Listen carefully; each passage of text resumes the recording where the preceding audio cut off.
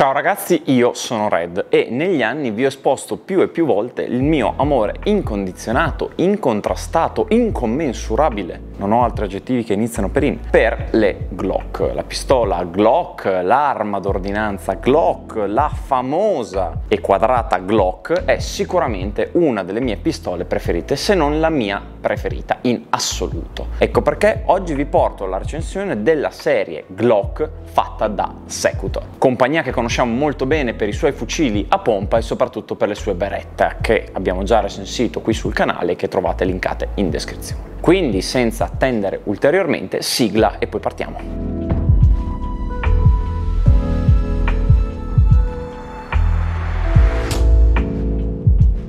Ecco qui i due modelli di cui andremo a parlare oggi. Sono belli, eh?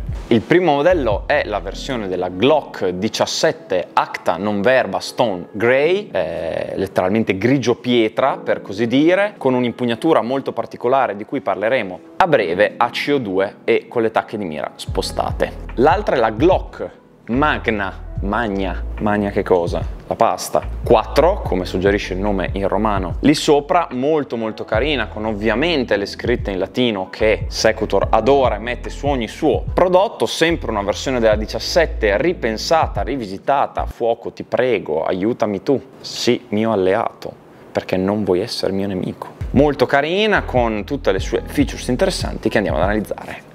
Or Ci penso io, Giuseppe, ci penso io. Boom, morta. Le pistole Secutor tendono ad avere tutte la stessa caratteristica, sono a CO2, quindi tutte queste Glock che vi farò vedere sono a CO2, quindi i loro caricatori sono vuoti perché all'interno va messa una bomboletta di CO2. Un'altra caratteristica importantissima delle pistole Secutor è che loro adorano il metallo, quindi non troveremo parti in plastica se non per quanto riguarda ovviamente le parti in polimero rinforzato che anche la controparte reale ha, quindi il fusto inferiore della pistola, le gonnelline dei caricatori e il resto è tutto in metallo. Partendo dalla Magna Magna 4 troviamo un carrello alleggerito in modo tale che pesi meno e che quindi la pistola possa appunto andare a operare in maniera più semplice senza dover far affaticare nulla. Ovviamente le scritte Virtus vincere Tenebras, quindi la virtù vince le tenebre, io la comprerei solo per questo, eh, la scritta ovviamente in numero romano di 4, perché questo è il modello, il numero 4 per così dire, e il logino SPQR. Sono di Reggio Emilia, quindi non posso che adorare il fatto che ci siano numeri romani e appunto un po' questo stile romaneggiante romanesco riportato su questa pistola. Questa pistola funziona veramente molto bene, ha un sistema di scatto ottimo, funziona veramente molto bene e si arma e spara in maniera pratica, il grilletto ha il peso giusto, eccolo lì, essendo a CO2 ovviamente dà un bel calcio rispetto al eh, green gas, non ha un rinculo devastante, però comunque è un pochino più cattiva, un pochino più arrabbiata. Ovviamente è, come suggerisce il nome, dual tone, quindi ha due colori. Come suggerisce il nome è un dual tone, quindi ha il TAN per l'impugnatura e il carrello completamente nero con un paio di inserti neri anche sul corpo della pistola come possiamo vedere il grilletto e il tasto di rilascio dei caricatori. E ovviamente il corpo interno del caricatore in metallo e la gonnellina invece torna ad essere ovviamente TAN. Tra l'altro login SPQR anche sulla gonnellina del caricatore. Troviamo infine, sempre per quanto riguarda i loghi, il numero seriale qui di fianco e questo adesivino qua che ovviamente potete togliere e qui ovviamente c'è scritto Magna. Pistola veramente tosta, mi piace veramente tanto sia come estetica ma soprattutto perché è a CO2 quindi la possiamo andare a utilizzare anche d'inverno senza che ci dia problemi. Chiaro è che essendo a CO2 ha tutte quelle complicanze che il CO2 ha rispetto che il green gas e bla bla bla. Possiamo stare qui a parlare due anni sulla differenza tra CO2 e green gas, ma non lo faremo. Anche perché l'abbiamo già fatto, trovate il link in descrizione. Troviamo tra l'altro a differenza della Glock originale lo spegnifiamma che è esterno, che anche la Glock originale non aveva. Comunque vabbè, può essere andato a svitare e al suo di sotto,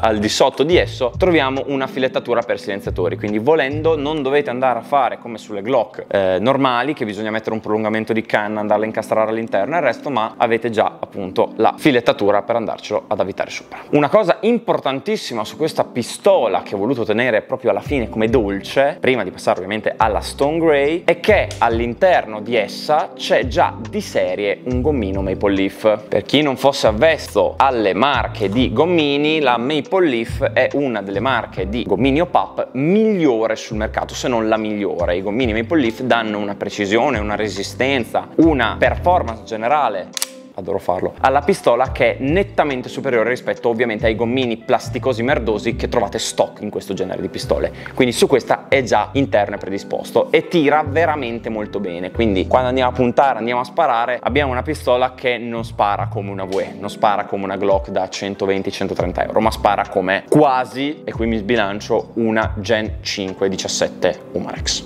Quasi. Passiamo all'altra. Se la Magna 4 è un pochino troppo romaneggiante per i vostri gusti, ho qui qualcosa che vi farà godere parecchio. Non tanto perché ha delle performance superiori, in quanto questa si posiziona un pochino sotto la eh, Magna 4 per l'appunto, ma per estetica e features particolari. Ecco che entra in gioco la Acta non verba Stone Grey. Stone Grey, come ho detto, è per il colore del carrello che è appunto grigio pietra. Troviamo molte delle caratteristiche presenti anche sulla Magna, in quanto la Magna è sostanzialmente la versione migliorata di questa, anche anche se si sono dimenticati di mettere le cose più fighe messe su questa pistola poi sulla Magna. Tra le features principali che possiamo trovare è l'attacca di mira spostata, quella ovviamente posteriore, è esattamente sopra l'estrattore perché quando lo andiamo a chiudere come vedete è giusto lì, può essere successivamente spostato qui indietro, basta staccarla lì senza nessun tipo di problema ed è già predisposta per attaccare i mirini MRR microdot, quindi potete direttamente andarci ad attaccare sopra un mini dot per andare ad acquisire il bersaglio in maniera più semplice. Molto molto molto figo anche perché normalmente c'è da tirare delle madonne per montare questo tipo di mirini su questo tipo di pistole. Un'altra feature importantissima è il tipo di grip ed è il tipo di pattern che ha l'impugnatura ed è riportata poi anche qui dove c'è il poggiadito e nella gonnellina del caricatore che è d'arma vera. Questo tipo di grip qua infatti è fatto in modo tale da bloccarsi nella mano in maniera molto più solida e permettere anche un'estrazione e un punto impugnatura veramente molto solida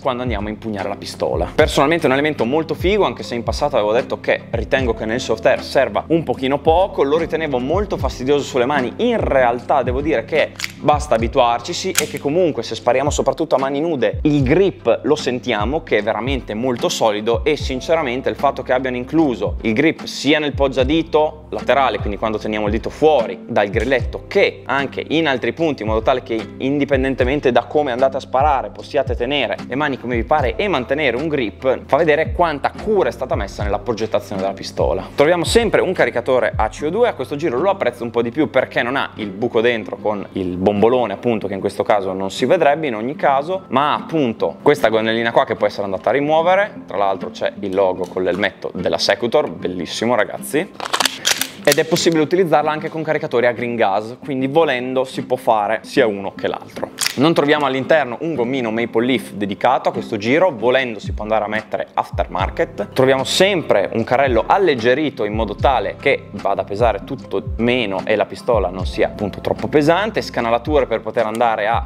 sbloccare la pistola sia davanti che dietro, quindi quando dobbiamo andare a incamerare il primo colpo la possiamo tirare sia da davanti che da dietro.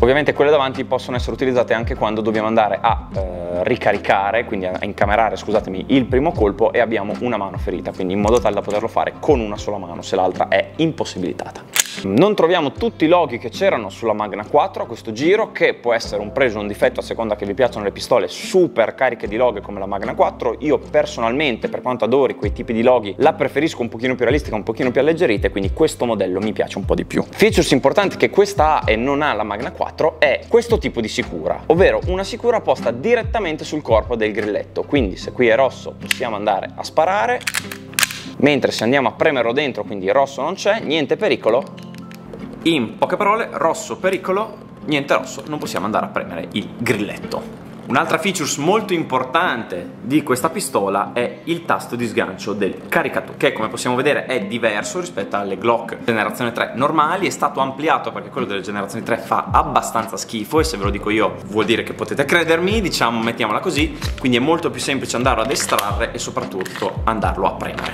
Quindi feature molto importante che ho apprezzato veramente tanto Se vi steste chiedendo perché l'audio è cambiato, beh è molto semplice, si sono scaricati i microfoni. Io mi sono aperto un dito eh, dando una sberla a una pistola e in tutto questo Giuse.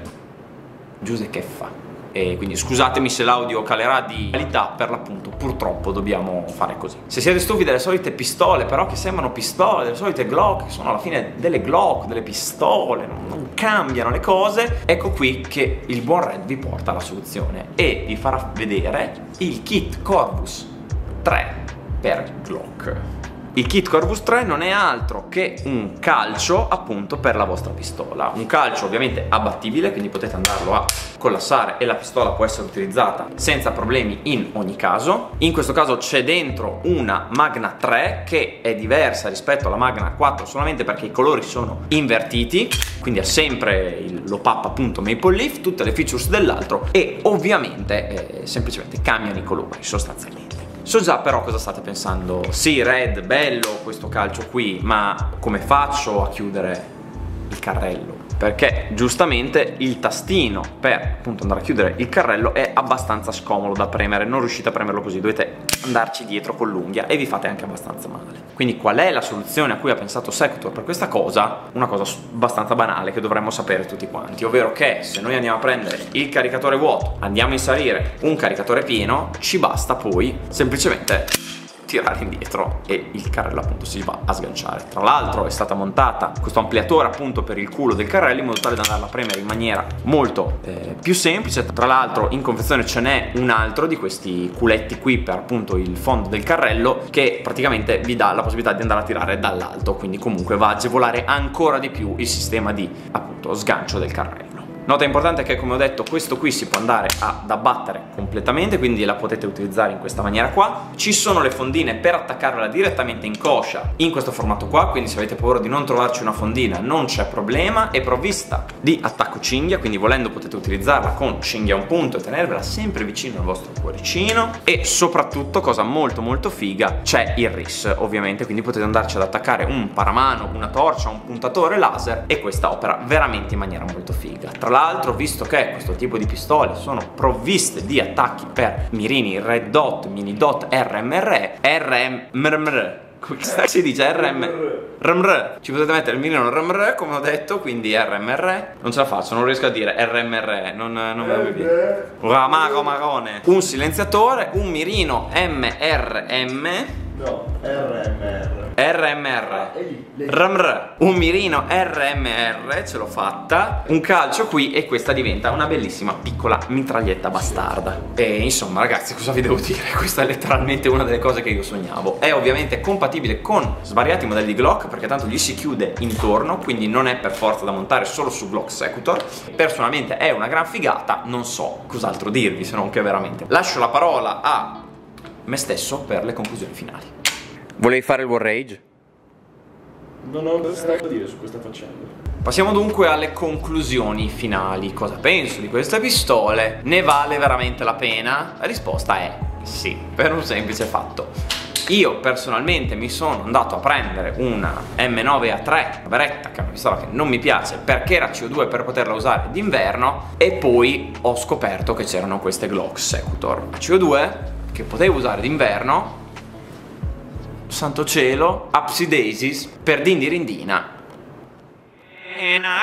eh, lo so che non è bello urlarlo così, però poi quando lo giro fa ridere, se lo dico piano invece non fa ridere. Quindi, eh, finita la gag, insomma, sono ottime perché una la potete usare d'inverno, l'altra d'estate. Personalmente continuo a preferire come eh, feeling in mano, anche perché comunque queste sono delle basi di Glock Gen 3, quindi non hanno il fusto della Glock Gen 5 che io personalmente adoro perché è veramente fenomenale e hanno sicuramente dei vantaggi in più, sono più personalizzabili, sono un pochino più carini carine se volete perché hanno tutti degli inserti però comunque rimango sulla mia Glock Gen 5 Umarex lì non mi sposterò mai. Come performance soprattutto la Magna 3 ha la possibilità di avere già all'interno un gommino Maple Leaf che non è assolutamente una cosa da, da buttare via anzi è una cosa importantissima a mio parere in quanto solamente alcune pistole di Novric mettevano dentro questo gommino e lui l'ha fatto apposta perché sapeva benissimo che i gommini Maple Leaf performano da bestia cioè sono incredibili. Tra l'altro personalmente le Glock customizzate non mi fanno impazzire impazzire, queste sono tra le poche che lo fanno in maniera abbastanza fine perché abbiano senso all'interno del software senza diventare appunto dei giocattoloni quando vengono personalizzati un po' troppo, tipo le IK che personalmente non mi fanno impazzire. Come performance, come detto, se la possono secondo alcuni contendere con la Glock 17 Gen 5 della Umarex, io eh, ci credo poco. Se volete vedere quindi questa comparison dove proviamo queste due pistole, ve la butto lì, arriviamo a 1500 like per vedere una comparison in campo dove io e War ci spariamo addosso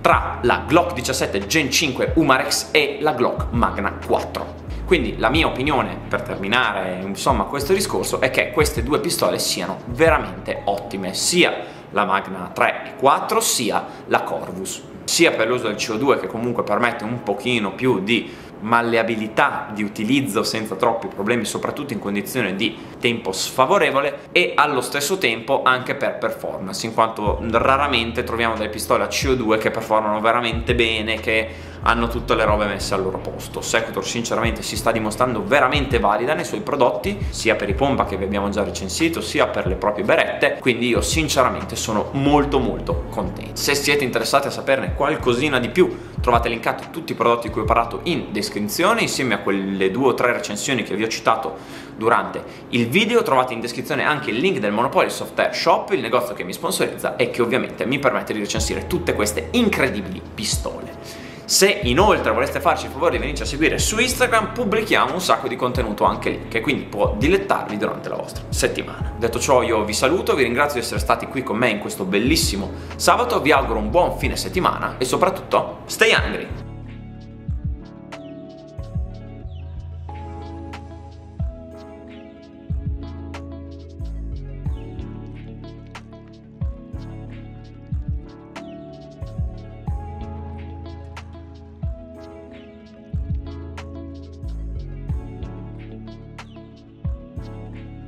Redman War Range, Redman la prova di tiro,